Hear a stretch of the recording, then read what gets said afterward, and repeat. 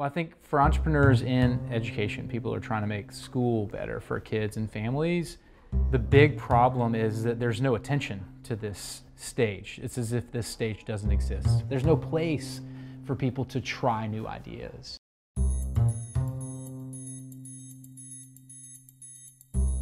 I'd had discussions uh, with different people about just this, this, idea that I had to take kids out of New Orleans and, and get them writing.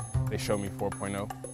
Um, and I knew that I wanted to be in something that was going to, number one, recognize the value of what I was coming with, but also help me.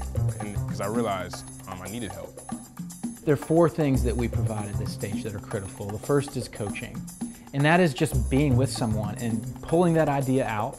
And then with love and candor, giving people feedback. It takes some skill to coach at this early level. The second is capital.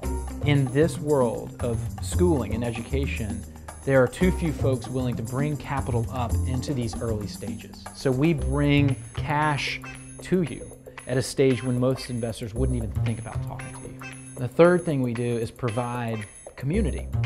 And, and we think that this iterative process of putting your ideas in front of families and students and having them give you feedback is rooted not in this overly romanticized vision of the entrepreneur as dude, usually white dude in a garage, coming up with something magical and making lives better. It's rooted in community, people who are giving you feedback. Being around the 4.0 staff, um, learning from them and, and vibing with them and, and, getting that energy from them is something that stimulates me and keeps keep pushing me. And then the fourth thing is credibility folks want to see that an idea works. So getting through these iterations and getting someone to the place where their idea is having an impact on kids and families, that provides credibility that can unlock all of that capital that is stacked downstream right now. As entrepreneurs, we need that because um, we have so much going on in our heads.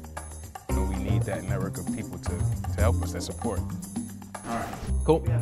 All right, sweet.